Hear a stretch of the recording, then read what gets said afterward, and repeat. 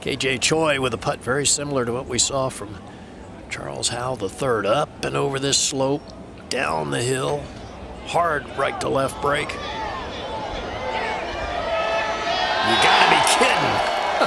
oh, there's an unexpected pleasure. KJ Choi